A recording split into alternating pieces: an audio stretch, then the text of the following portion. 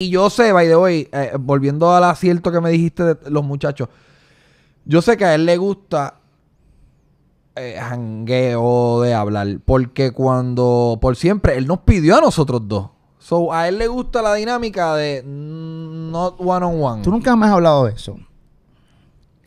Y perdona que cambie de giro. Ajá. Estamos en Molusco TV, rapidito. Yo tengo una pregunta y, y cuando... Y para que mucha gente sepa, Ajá. la entrevista que está aquí en este canal de YouTube del disco por siempre de Bad Bunny es que Benito nos pide a los dos. Yo no quería estar. Cuando, cuando, cuando me llaman o me llamas tú, yo no quería estar porque era tu canal y era tu oportunidad de, de entrevista, era, era tu momento. Yo no quería estar. Este, cuando, cuando realmente piden que Bad Bunny quería tenerlos a los dos, ¿tú te molestaste?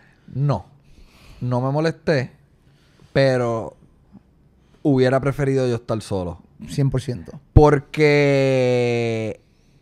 No, no porque tú eres molusco, sino porque yo nunca he trabajado contigo en ese ámbito. Es como que tu- tuvimos que hablar antes, como que, ¿cómo vamos a hacer esto?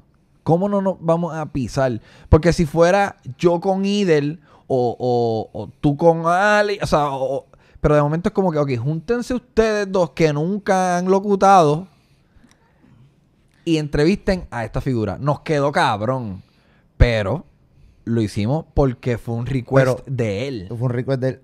Pero también yo... Pero no me mordí. Pero yo respeté también tu canal. Yo lo sé. yo lo respeté. Yo... Yo dije, no, este, este no es mi canal. Yo voy a tener mis momentos. Sí, sí. Pero si cuando yo no voy a estar a gente envuelto, eh, a galope, métele. Porque es tu Eh, canal. y yo creo que es lo que... Igual que si yo estoy... Porque la producción, para que la gente sepa... A mí me llama Max de Buena Vibra. Ya, Esto sí. va a estar nítido. Esto va a estar nítido. A mí me llama Max de Buena Vibra y me dice, ok. Chente, queremos que tú y Molu cubran el, la, el la repartición de regalos que él tenía de Good Bunny. Esas navidades él tenía un proyecto que era darle regalos a los nenes. ¿Quieres estar? Y yo, claro que sí. Y entonces eh, eh, queremos que lo hagas con Molusco, pero, ¿sabes? Que, que sea una producción tuya y yo, dale. Yo me comunico con esta gente, mira, vamos a hacer esto, me comunico contigo. Y era raro. Era como, espérate, que va, va a entrevistar a Bonnie en el evento de la repartición de regalos. Ok. ¿Dónde va a ser la repartición? En tal y tal lugar. Horas antes de. Porque la gente se olvida. Ese disco nadie sabía que venía. Eso fue una sorpresa. ¡Pum! Son las 12 de la noche. Salió esta pendeja. Me llama Max y me dice, como a las 11, me dice, ok. Dentro de una hora va a salir un disco de Bad Bunny. La entrevista mañana no es lo que nosotros te dijimos que era. Nos están cogiendo de pendejo. A ti te están cogiendo Ajá. de pendejo. La entrevista realmente es tú y Molusco sentados con Bad Bunny hablando del disco. Y entonces ahí yo entro en pánico, como que, espérate, yo tengo que tengo tiempo para escuchar el cabrón disco. Eh, eh, y nada, lo hicimos. Pero esa fue la, la vuelta. Y comprendo y tratamos de hacerlo claro al principio de la entrevista de, de no me acuerdo cómo lo pusimos en palabras, pero lo, lo explicamos co- como, no sé. Eh, y ese es el mejor ejemplo de que ambos podemos coexistir. Ese, ese día. Y, y, y Bad Bunny lo quiso. Para, para, para, para, para, no- para nosotros es un... Se siente bien saber que Bad Bunny respeta nuestros espacios. Y todos los artistas lo respetan, nuestros espacios. Eh, y siempre lo he dicho, podemos coexistir.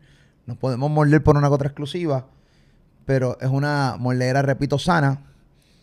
Y se siente bien, cabrón. O sea, tú sabes, o sea, este tipo salió de Jimmy Fallon, entrevista con Apple Music, a una entrevista en Molusco TV, borracho como cabrón. De Jimmy Fallon a, Molusco y y, a, y a- Chente. y a Chente y Drash. O sea, para que tú veas cómo Bad Bunny respeta su país y su medio. Y él no deja de repetir Puerto Rico en todo lo que dice. Ujú. Puertorriqueño, pero, o sea, pues hay gente que dice que es boricua. No, no, pero demuestra, mamá, ha dicho que tú eres puertorriqueño. Entiendo lo que te estoy diciendo. Ese tipo pudiendo vivir en casa del carajo, el tipo se pasa aquí metido, él vive aquí y toda la cosa. Así que, en ese sentido, que respete nuestros espacios, a mí me parece sumamente cabrón. Y a mí me, me, me, me, me- me está sumamente victorioso la entrevista de este canal. Me la gocé, me la triunfé, como ustedes dicen. Pero tengo que realmente, cuando me enteré que yo lo tuve un par de horas antes que usted, aunque sea media hora, tengo que admitirle que cuando cerré el micrófono y dije, ¡Yes! ¡Lo tuve un ratito, aunque sea, mamabicho! Estúpido eres. Ratitito, ratitito, cabrón, ratitito, cabrón, ratitito. Cabrón, ¿Quieres, quieres ver cuán tóxico yo soy? ¿Puedo, puedo comunicar mi toxicidad?